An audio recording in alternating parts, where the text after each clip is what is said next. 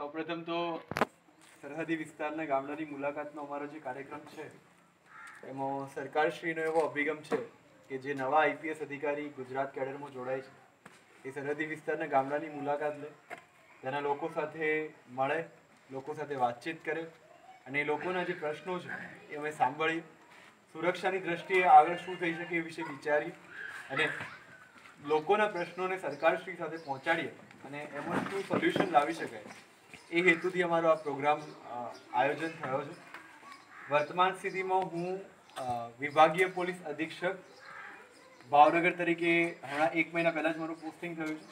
હું અત્યારે એએસપી ભાવનગર તરીકેનો પદભાર સંભાળી રહ્યો છું. અને બે દિવસ માટે અહીંયા ભુજમાં ભુજ તાલુકાના નાની રોતાડ ગામ અને લખપત તાલુકાના નાની છેર ગામની મુલાકાતે છું.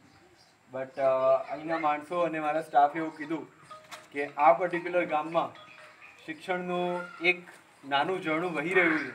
જ્યાં બીજા એકદમ વેરાન સ્થિતિ છે. ત્યાં અહીંયા લોકો શિક્ષણ માટે જાગૃત છે તુગાની અંદર. તો તમે જાઓ, આવો અને વિદ્યાર્થીઓ જોડે થોડું ઇન્ટરેક્શન કરો. એ હેતુથી અહીંયા આવવાનું થયું છે. જે પ્રમાણે વિસ્તારને હું સમજ્યો છું, એ પ્રમાણે એવું છે કે અહીંયા વિકાસનો અભાવ છે, શિક્ષણનો અભાવ છે. લોકો ખેતી અને પશુપાલન સાથે સંકળાયેલા છે, પણ જ્યારે આટલા મોટી સંખ્યામાં અહીંયા શિક્ષિત યુવાનો જોઈ રહ્યો છું ત્યારે આશાની એક મજબૂત કિરણ અહીંયા મને દેખાય છે. આ દરેક યુવાન જો અહીંયા જે બેઠો છે, એ અહીંયાથી એક એક ગામને પણ જો લઈ લે કે આ પર્ટિક્યુલર ગામની જવાબદારી મારી, તો ઓછામાં ઓછા પચીસ પચાસ ગામને આપણે એક સાથે આગળ લાવી શકીએ. સી, જે માણસો અજ્ઞાની છે અથવા જેમને ભણવાનો મોકો નથી મળ્યો એવું નહીં કહીએ આપણે કે એ લોકો અભણ છે. હું ચોક્કસથી એવું કહીશ કે એમને ભણવાનો મોકો નથી મળ્યો, કારણ કે એમની પાસે પરિસ્થિતિ નહોતી, એમની પાસે સુવિધાઓ નથી અને એ જમાનો કંઈક અલગ હતો. પણ અત્યારે જ્યારે આપણી પાસે પરિસ્થિતિ બદલાઈ છે, ટેકનોલોજી આવી છે, આજે જ્યારે દરેકની પાસે સ્માર્ટફોન છે, અહીંયા મોબાઈલના નેટવર્ક્સ આવી ગયા છે, પાકા રોડ બની ગયા છે, બીજા ગામમાં જવાની વ્યવસ્થાઓ ઊભી થઈ છે, ઇવન આવા ગામની અંદર પણ બે માળની પાકી નિશાળો બની ગઈ છે. આટલા એજ્યુકેટેડ અને ઉત્સાહી શિક્ષકો જ્યારે અહીંયા હોય, અને છતાં પણ જો આપણે એ શિક્ષણનો લાભ ના લઈ શકતા હોઈએ.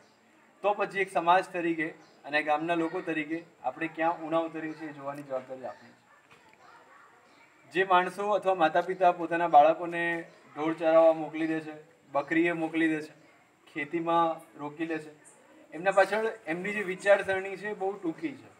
એમને એવું છે કે મારો દીકરો જશે, દસ દિવસનું, પંદર દિવસનું કમાઈ લાવશે ને એમાં મારી રોજીરોટી નીકળી જશે અને આપણું ઘર ચાલશે. આ એમની વિચારસરણી છે ને એમાં એમનો કોઈ વાંક નથી.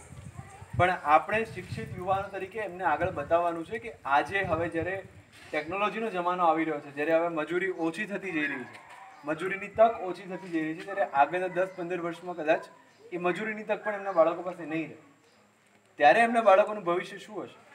ત્યારે એ લોકો કઈ રીતે કમાશે? ત્યારે એ લોકો પોતાનો પરિવાર કઈ રીતે ચલાવશે? એ પ્રશ્ન જો તમે માતા પિતાને સમજાવશો તો કદાચ માતા પિતા પોતાના બાળકોને સ્કૂલે મોકલવા તૈયાર થશે. બીજી વસ્તુ મેં જોઈ નાની રોતડમાં, કે અહીંયા બાળકો મદ્રેસામાં કમ્પલસરી જાય છે ફરજિયાતપણે જાય છે. પણ શાળાએ જતાં એમને જોર આવે, અથવા શાળાએ મોકલવા માટે વાલીઓનું ફોકસ નથી. તો એ વસ્તુને પણ ચેન્જ કરવાની જરૂર છે. સી, દિન અને દુનિયા બે વસ્તુ છે અને બંને સાથે ચાલવી જોઈએ. ગાડીના બંને પૈડા સરખા હોય તો જ ગાડી આગળ વધે. એક પૈડું નાનું ને એક મોટું હોય તો ગાડી ત્યાંની ત્યાં જ રહે. અને એક્સિડન્ટ થાય. એવું જ કંઈક થયું છે આ વિસ્તારમાં. રાઈટ એટલે જ્યારે હવે ટેકનોલોજી આવી છે, રોડ પાકા બન્યા છે, સાધન સામગ્રી છે અને આટલા ઉત્સાહી માણસો આપણી સાથે હોય, ત્યારે હું એવી આશા રાખું કે અહીંયા બેઠેલો દરેક યુવાન એક નાના કસ્બાને, એક નાના ગામને દત્તક લે. એટલે તમારે એની પાછળ પૈસા નથી ખર્ચવાના, પણ તમારે એની પાછળ પ્રયત્નો કરવાના છે. ત્યાં જઈને એમના વાલીઓને સમજાવવાના છે. જે બાળકો સ્કૂલે નથી જતા અથવા તો કોઈ મજબૂરી છે, એ મજબૂરી દૂર કરવાની છે અને એમને સ્કૂલે જતા કરવાના છે. અહીંના જે પ્રશ્નો છે, એ તો અમે લખી લીધા છે, એ સરકારશ્રી તરફ પહોંચાડીશું. પણ સાથે સાથે આ શાળા અને આટલું સરસ ઇન્ફ્રાસ્ટ્રક્ચર કદાચ આનાથી વધારે વિકસિત ગામડાઓમાં પણ આટલી સારી શાળા મેં નથી જોઈ. રાઈટ તો આટલી સારી સુવિધાઓ અને સંસાધનો આપણી પાસે હોય, તો આપણા બાળકો આ વસ્તુથી વંચિત ના રહે, એ ખાસ જોવાનું છે. અને આ આ શાળામાંથી, આ ગામડામાંથી જો આપણી જોડે ગ્રેજ્યુએટ અને પોસ્ટ ગ્રેજ્યુએટ વિદ્યાર્થીઓ નીકળતા હોય, તો હું આશા રાખું છું કે આવનારા દસ પંદર વર્ષમાં અહીંયાથી આઈએએસ ને આઈપીએસ અધિકારીઓ પણ નીકળે ડૉક્ટર્સ પણ નીકળે, જેથી કરીને એ લોકો ગામની અંદર બીજા રિસોર્સિસ લાવી શકે. અને અત્યારે જે વિદ્યાર્થીઓ ફરી રહ્યા છે, એ એમાંથી શીખી અને આગળ આવી શકે. રાઈટ એટલે એ એક અભિગમ લાવવાનો છે. પછાત છીએ, સરહદી વિસ્તારમાં છીએ, આ પરિસ્થિતિ છે, એને એક્સેપ્ટ કરવાની છે, એનો સ્વીકાર કરવાનો છે. એને લઈને બેસી રહેવાથી કંઈ પરિવર્તન નથી આવી જવાનું. પણ જે પરિસ્થિતિ છે, જે આપણી મુશ્કેલીઓ છે, એને એક્સેપ્ટ કરી અને એમાંથી કઈ રીતે આગળ લાવવું? એમાંથી કઈ રીતે આગળ વધવું? એમાંથી કઈ રીતે વિકાસ કરવો? એ દિશા તરફ આપણે બધાએ વિચારવાનું છે. એમાં વડીલોનું પણ યોગદાન રહેલું છે, યુવાનોનું પણ યોગદાન રહેલું છે અને બાળકોનું પણ યોગદાન રહેલું છે. અને એક સમાજ તરીકે જો બધા સાથે મળીને કામ કરશે, તો ડેફિનેટલી આ સરહદી વિસ્તારના લોકોનો પણ વિકાસ થશે. સરકારનું ડેફિનેટલી ફોકસ છે કે સરહદી વિસ્તારના વિકાસમાં સરકાર પણ ફાળો આપે.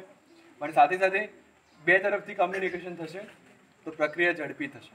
રાઈટ એ સાથે સાથે માત્ર ત્રણ જણ નહીં, પણ બીજા જેને પણ કોઈ પણ પ્રશ્ન હોય, મને પૂછી શકે છે. આપણે આરામથી વાત, અહીંયા વાતચીત કરવા માટે જ છે અહીંયા કોઈ ભાષણ આપવા માટે નથી આવ્યો એટલે મને વાત કરવી ગમશે. તમારા જે પણ પ્રશ્નો હોય તમે મૂકી શકો છો.